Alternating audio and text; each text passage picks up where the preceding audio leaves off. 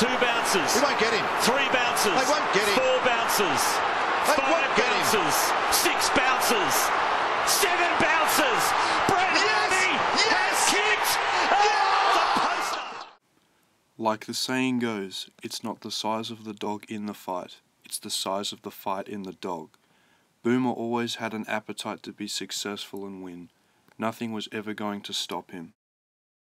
This vodcast presentation focuses on Brent Boomer Harvey of the North Melbourne Football Club. My reason for choosing Boomer is because he has always defied the odds throughout his career on his way to becoming the current game's record holder. He was always told he was too small and wouldn't make it professionally. As North Melbourne is the club I barrack for, his story resonated with me particularly after I met him. His pursuit of living out his dream has defied all odds, and maybe his story will inspire you. The title of my book is Brent Boomer Harvey.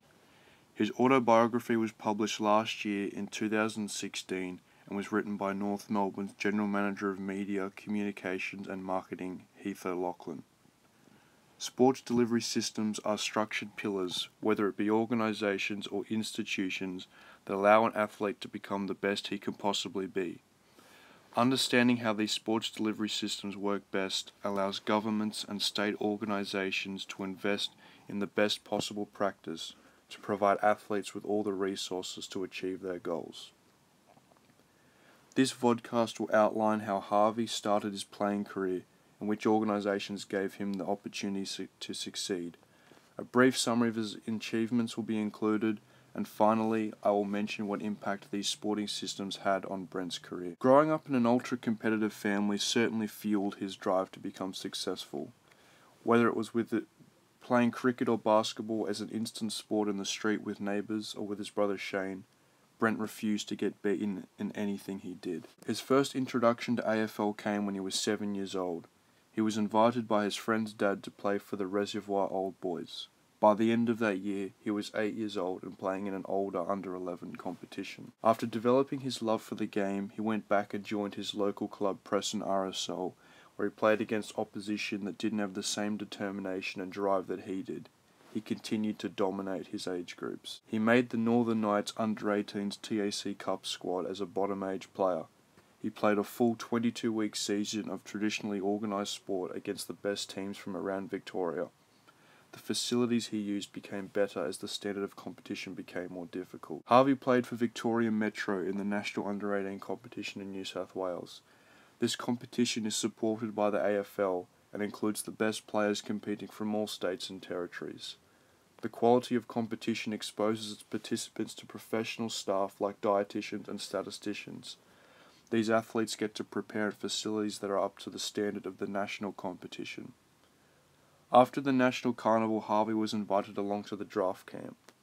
The AFL conducts numerous athletic, mental, and physical examinations on the promising players invited. This enhances their sports development and another example of a sports delivery system he was exposed to.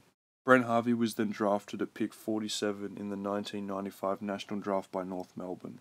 He played a total of one minute in his debut game in the final round of the 1996 season.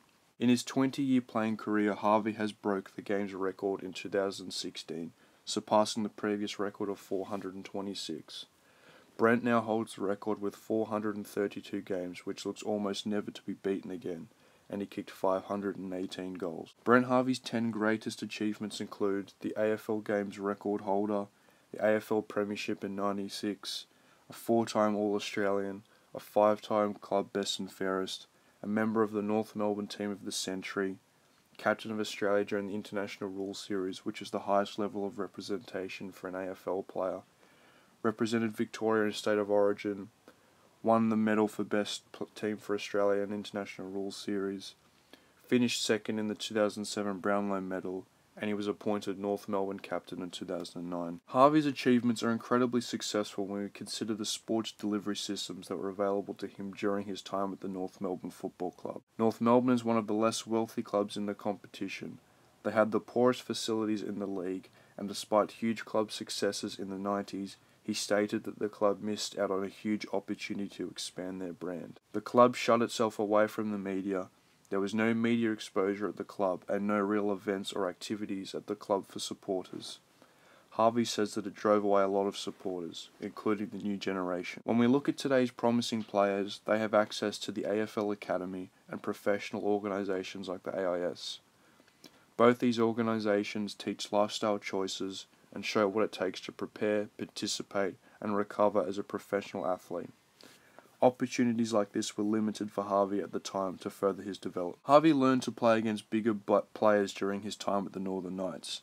He learned how he could use his skills to thrive against players twice the body size of him, and AFL scouts attended these games to assess players who could become successful.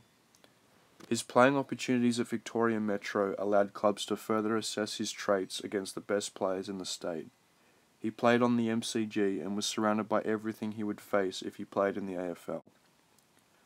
Because Brent has played through so many different competitions, it is evident that development conjures up ideas of maturation of education, the gradual consolidation of knowledge, the teaching of competencies and practical skills. Sports delivery systems and sports development made that possible for him.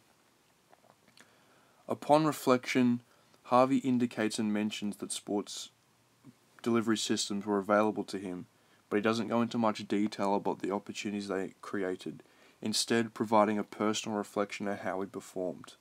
Harvey provides an emphasis on social objectives as a tool for human development, a key component in the management of sports development. I was aware of what sports delivery systems provided, but I always thought of them as only readily available for promising players. I have learned that the sports delivery systems available to Brent Harvey would have been lacking comparing them to today. He wouldn't have known about some of the technologies available today. In saying that, he made a sporting career that will be unsurpassed by athletes today, even with the facilities available today. These delivery systems need to continually evolve to ensure athletes can access best practice so we can see future champions of the game. This vodcast presentation has outlined how sports delivery systems enabled Brent Harvey to reach the highest level of competition. Brent Harvey's successes can be attributed to the different delivery systems he faced on his journey to the top. I have emphasized the importance of these pathways for future athletes, but also the need to continually update our methods of sports management.